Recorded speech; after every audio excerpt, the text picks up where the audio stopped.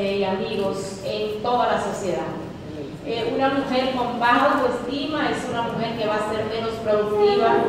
que va a tener también menos herramientas para criar la próxima generación de hombres y mujeres que conformarán nuestra sociedad.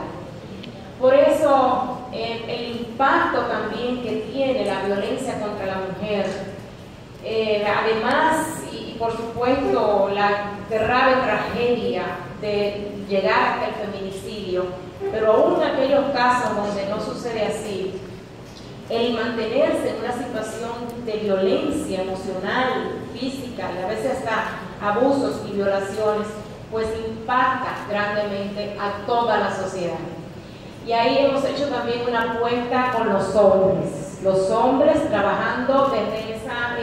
masculinidad positiva, desde esa nueva masculinidad, para que de una vez y por todas se desarraigue, se desconstruya ese concepto y esa ideología de machismo que existe en la República Dominicana y en otras sociedades como Honduras también que ocupa el primer lugar en América Latina